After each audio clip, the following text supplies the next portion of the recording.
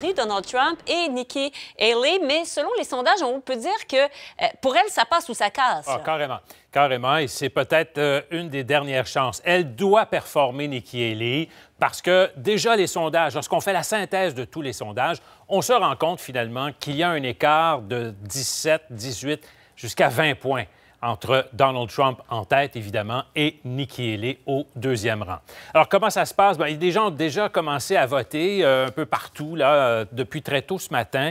Il y a donc euh, un achalandage assez important côté républicain, côté démocrate. Donc, on n'en parle même pas parce que, bon, en raison d'une bisbille entre le parti au national, Joe Biden n'est même pas sur, sur l'inscription. Alors, vous voyez Donald Trump avec Vivek Ramaswamy qui a, a décidé, lui, comme Ron DeSantis, euh, d'abandonner la course et euh, appuie donc Donald Trump. De son côté, Nikki Haley dit qu'elle va poursuivre cette course-là euh, jusqu'au-delà, jusqu'au en Caroline du Sud, son État, où il a été gouverneur d'ailleurs. Mais on verra. Ce soir, c'est vraiment New Hampshire. Après l'Iowa, troisième place, Nikki Haley. On voit Donald Trump qui est arrivé à Londonderry, c'est une localité donc du New Hampshire. il est arrivé donc sur place avec une foule qui l'attendait avec des pancartes avec Donald Trump, évidemment, l'effigie Donald Trump, euh, MAGA, donc euh, Make America Great Again. C'est son slogan, bien sûr, on le sait. D'ailleurs, je vais vous laisser entendre à la réponse d'une journaliste qui lui demandait en lui disant que Nikki Haley avait l'intention de rester jusqu'au super mardi. Ça, c'est au 5 mars. Et sa réponse. Haley says that she's staying in through Super Tuesday. I don't care. Is she a threat to you? No, no. She, and I don't care if she stays in. Let her do whatever she wants. It doesn't matter.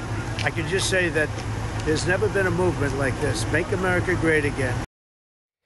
Simplement vous dire que euh, il a fait vraiment beaucoup d'emphase sur euh, la foule qui l'attendait. On ne s'attendait pas à ça, on s'attendait à quelques personnes seulement, mm. mais manifestement, c'était organisé. Il y avait des questions, vraiment, des questions qui étaient planté, comme on dit. Euh, croyez-vous que vous allez encore subir la fraude électorale cette fois-ci? Ça tient évidemment dans toute cette fausseté que les élections en 2020 avaient été euh, euh, frauduleuses, mm. alors que c'est complètement faux, bien sûr. Des gens qui ont posé des questions. Il y a des problèmes à la frontière sud, mais aussi à la frontière nord. Vous vous rappelez que New Hampshire, bien sûr, a une frontière avec le Québec, notamment.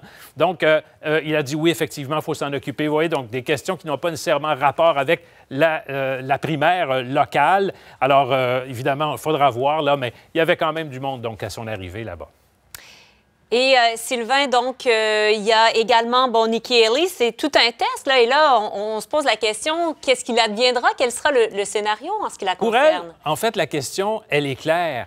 Est-ce que l'écart entre Donald Trump et elle sera, sera suffisamment euh, petit euh, pour qu'elle puisse rester dans la course? Mm. C'est ça, c'est la question à voir. On le saura ce soir. On suit ce